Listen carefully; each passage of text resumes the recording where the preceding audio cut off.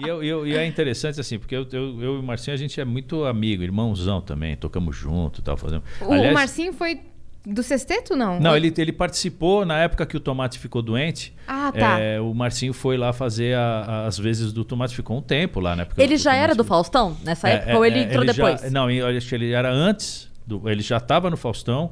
Aí ele tinha, eu acho que acabado de sair, alguma coisa assim. Mas ele não. Eu, eu, eu acho, não tenho certeza, mas eu acho que ele não fez as duas coisas concomitantes. Ele, ele, ele saiu do Faustão e aí depois de um tempinho, pouco, eu chamei ele para fazer a, a- o Jô, né? Quer dizer, chamei.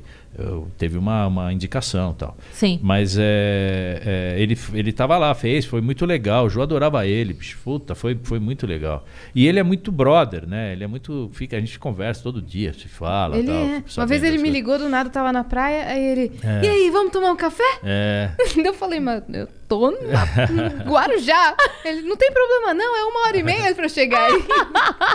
é, ele é muito Maravilhoso, querido. ele é Nossa, querido ele demais. é demais. E Ele é aí, é, por exemplo, quando começou a pandemia, o ano passado, o último show que eu fiz antes de parar tudo foi, foi com ele. A gente estava em Balneário Camboriú. Fizemos um show, aí ele foi, foi embora num dia antes de mim. E aí, no dia que eu fui, fechou tudo, cara. Eu não tinha mais como sair de Balneário, cara. Meu Deus. Nossa, cara, fechou. E eu tinha dado check-out no hotel, tinha ido para o aeroporto. No caminho para o aeroporto, eu comecei. No caminho de, de Balneário Camboriú para Navegantes, que era onde era o aeroporto, no caminho eu comecei a sacar que a coisa estava azedando. No caminho. Aí eu, eu cheguei no aeroporto, já vi que estava uma, uma fusarca.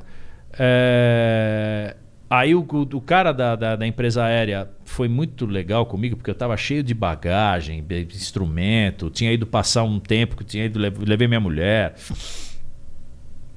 Aí ele falou, cara, eu vou te dar um voucher para você almoçar.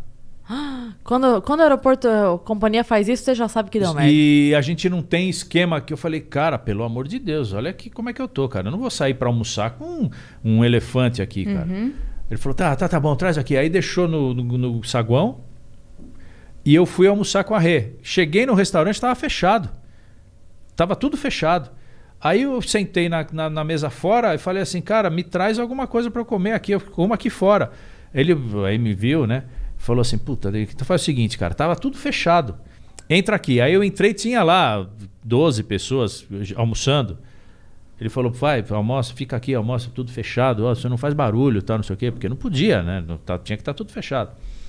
Aí eu e minha mulher, a gente almoçou, saímos, voltamos para o aeroporto, falou, olha, cara, não tem jeito, não tem voo. Aí eu liguei pro hotel, falei, bom, vou voltar pro hotel. Não podia, mas os hotéis não estavam aceitando check-in. Sim. Então, eu tava Vai perdido. ficar na praia? Aí eu falei assim, cara, o que, que eu posso fazer? Ele falou assim: "É, a única coisa que você pode fazer é eu te colocar num voo noturno saindo de Curitiba. Eu falei, tá, mas e aí? Ele falou, tá saindo um ônibus agora para Curitiba. Eu falei, cara, mas como é que eu vou entrar num ônibus? Cheio de gente. Sim. Não tem cabimento. Ele Isso falou, era que "Pois é, dia? Você lembra? Dia 18 de março. Ah, já Sim, tava. bem Tá, na já tava. Era do 18 de lockdown março. lá. Sim, sim.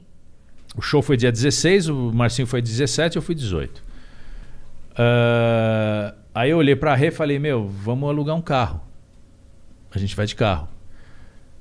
Aí fui na, na empresa de locação, ela falou assim: olha, nós estamos fazendo uma promoção, uma promoção da desgraça, né?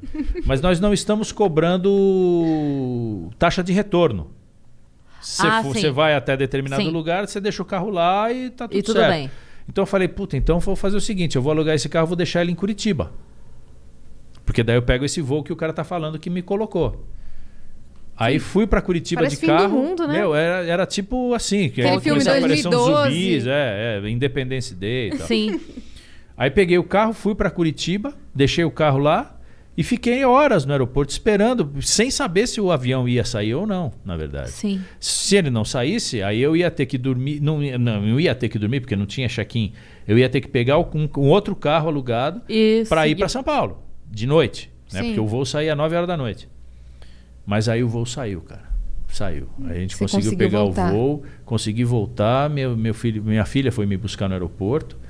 E aí, fiquei, aí eu isolei. Aí eu fiquei dentro de casa durante a maior parte do tempo, há 11 meses, na O verdade. que, que você fez nesse período? Que eu vi no seu Instagram que você tá fazendo alguns Então, eu conteúdos lá, tenho, né? eu tenho algumas coisas que eu faço por, por, por assim, é, para minha mente não fritar, Uhum, né? Pra não surtar. Então eu tenho um estúdio dentro de casa é, e lá eu faço essas coisas, o st- o storytelling. é, eu tenho um outro programa que chama de quinta, é, que eu fico conversando com, os- com- as pessoas na, na- na- na internet. é, eu eu- eu- e aí eu fico assim, faço pra- é, participação toda terça num programa na, numa rádio. É, é, estou prospectando algumas coisas que dá para fazer quando eu, quando libero um pouco, que flexibiliza um pouco. Vou fazer alguns shows, né? Vou tocar. O que me pega é não conseguir tocar. Isso realmente me pega, porque tudo que eu estou fazendo é muito legal. Uhum. Mas não é o meu métier.